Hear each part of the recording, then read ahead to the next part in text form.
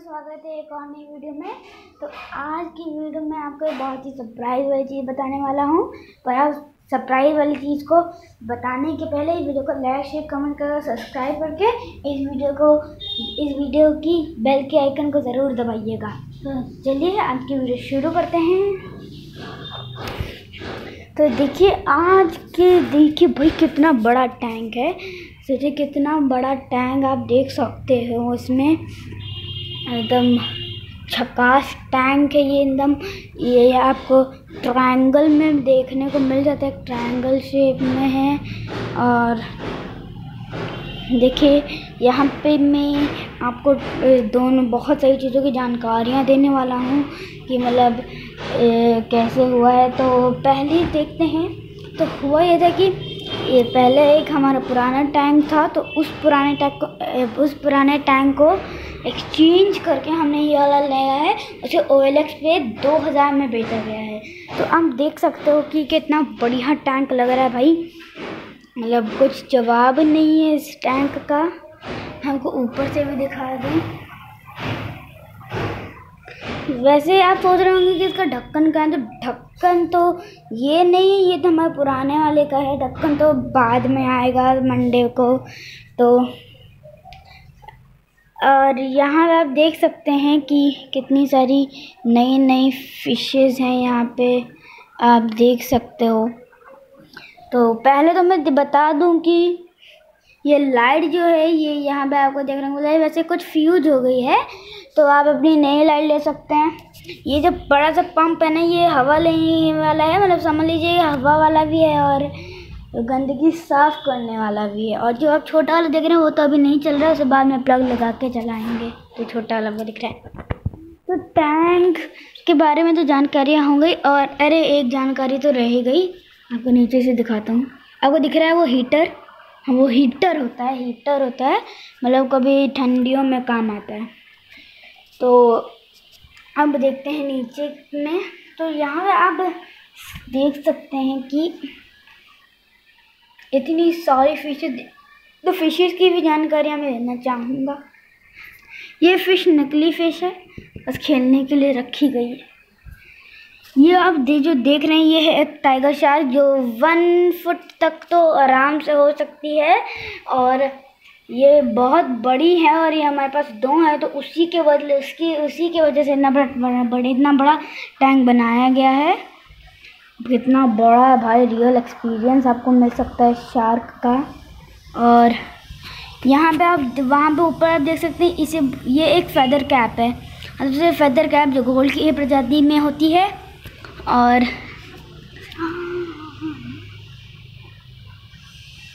तो ये मतलब फेदर कैप जो है, ये गोल्ड की ही प्रजाति में होती है। और और यहाँ पर आपको एंजल दिख रही है, दोस्तों। एंजल। एंजल मतलब इसका नाम इसलिए रखा गया है क्योंकि एंजल जैसी दिखती है। ऐसा किसी भी चीज़ को अपने पास नहीं आती। बस छोटा सा ऐसे हड़काती है कि मेरे पास बताओ। वो अकेला रहना पसंद करती है। और और देखिए यहाँ पे दो डॉलर्स हैं। डॉलर्स आपके हाथ के पंजे के बराबर होती हैं। और आपको देख वो हाँ देख रहे हैं आप। कुछ दिख रहा है आपको? वहाँ वहाँ, ये दिख रहे हैं। तो बहुत हल्के कलर में दिख रही होगी। ये शुभांकिन दिख रही है आपको दोस्तों? शुभांकिन है ये। गोल्ड और कार्प के बीच की प्रजातियाँ होती हैं ये। वैसे गोल्ड की तरह होती है, अच्छी सी। सीधी सादी और मैं अब इन इसके अंदर की डिज़ाइंस के बारे में बता देता हूँ कि पत्थर वत्थर तो ये तो पत्थर वत्थर है तो चलो ठीक है। यहाँ पे बछलू के लिए एक शंख भी होना ज़रूरी है तभी उन्हें लगेगा कि वो एक पानी में, वरना तो उन्हें लगता है वो ज़मीन में है। ऐसा होता है कभी कभी यहाँ पे देखिए, यहाँ पे एक पौधा लगाया गया, नकली है। और आप, अगर आप चाहें तो कुछ टॉयज़ भी रख सकते हैं। जैसे ये एक टॉय है, ये एक टॉय है। और वहाँ पे आपको देखूँ तो अरे बाप रे, इतनी बड़ी बड़ी मछलियाँ हैं ना, दिखता ही नहीं है। वो देख रहे हैं आप, उस महल के नीचे एकदम एक टॉटॉइस दिख रहा है आपको? ना तो वो टॉटॉइस है। वैसे शार्क वार्क बड़ा घेर रही हैं। मिल नहीं रहा ठीक से पोजीशन ना तो टॉटॉइज है। तो अब अब देखिए कि उस टॉटॉइज के पास इतना बड़ा जो महल टाइप है महल जो है ये बहुत बढ़िया महल होता है।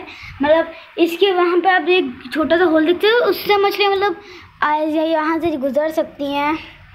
दूसरा कि वहाँ पे आपको एक, वहाँ पे जो आपको एक होल दिख रहा है, उससे मछलियाँ मतलब उसमें अपने अंडे दे सकते हैं, उन्हें संभाल कर रख सकती हैं।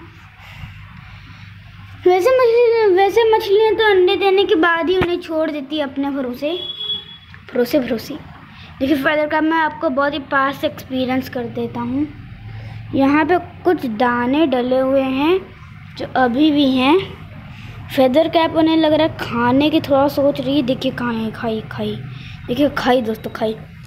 पर अभी तक इतनी सारी को कुछ नहीं पता इस, इसने ढूंढ के खाना भी स्टार्ट कर दिया देखिए। बहुत शर्मीली है।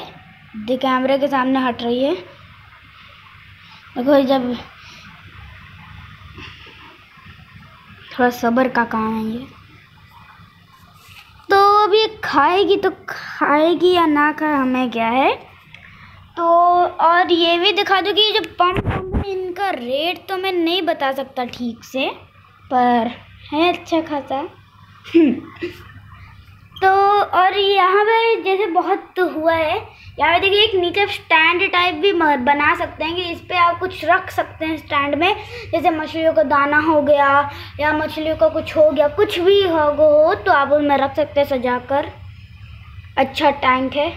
और ये देखिए, यहाँ पे जैसे इसको अगर ऐसे बनाया गया था कि मतलब ज़रा सा भी अगर ये टेढ़ा मेढ़ा होता है ये ग्लास तो फिर ये टूट सकता था, इसे बनवाया गया है ना?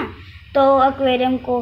तो इसकी वजह से एक कारपेटर अंकल आए, उन्होंने इतना बढ़िया तरीके से ये लकड़ी लगाई, उसके बीच में ये थर्माकोल तो एकदम बहुत बढ़िया तरीके से बना है। मैं ये क्वेश्चन नहीं है कि बढ़िया नहीं है। और आपको मैं एक और बात बता दूँ कि आप प्लीज़ पतले शीशे का टैंक ना बनाएँ। क्योंकि आपको पता है कि पानी का प्रेशर जो बहुत होता है तो उसमें रहता है कि अगर वो बेंड हो गया और कभी फट भी सकता है वो मतलब टूट सकता है। तो इसलिए ऐसा ना करें मतलब पतले का मान ना बनाएँ, एकदम मोटे का बनाएँ, एकदम ऐसा, एकदम मोटा। इतना मोटा दिखता है, एक मिनट इतना। अब तो वो वाला तो बहुत छोटा होता है इतना शायद। तो तो दोस्तों, आज के लिए इतना ही। अगर आपको मेरी वीडियो पसंद आई तो इस वीडियो को लाइक, शेयर, कमेंट कर सब्सक्राइब भी कर दीजिएगा, बेल के आइकन को दबाकर और करिएगा। तो तब तक के लिए बाय बाय। और हाँ मेरी वीडियो ज़रूर देखते रहिएगा। तब तक के लिए बाय बाय। तो खुशखबरी।